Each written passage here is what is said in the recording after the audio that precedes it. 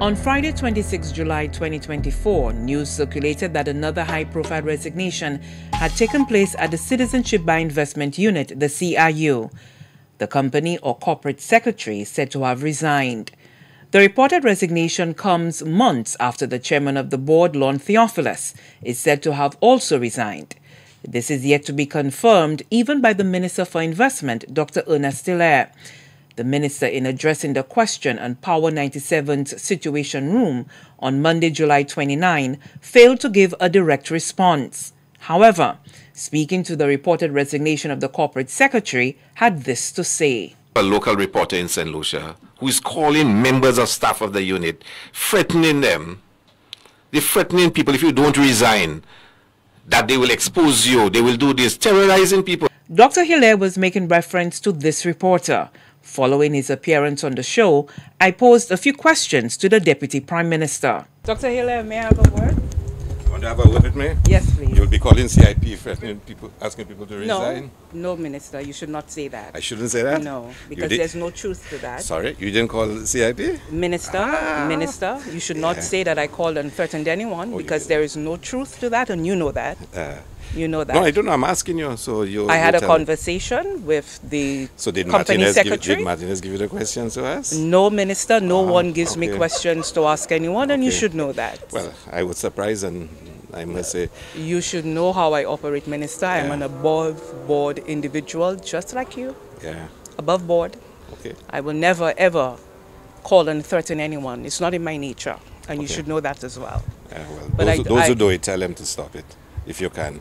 Well, if, if I know who they are and if you point me in the direction, yeah, I will I will, I will most like I will most yeah. certainly do that for you. Yeah. But I do want to ask you about the corporate secretary.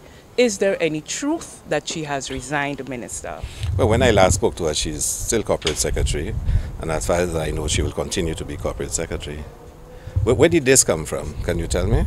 Well, like you, I saw the article. Ah. Just like you, I saw the article. yeah. But I, I want to ask, and, and, and because I called the corporate secretary to ask her whether there was any truth to the uh, statement that very soon, in the amendment to the RICO suit, uh, that there will be some 200 documents that will be coming before the court. And those documents will have some evidence that there was underpricing. What I asked the corporate secretary how would you, was, you, was I've never heard that. Where did you get that from? Sources, Minister.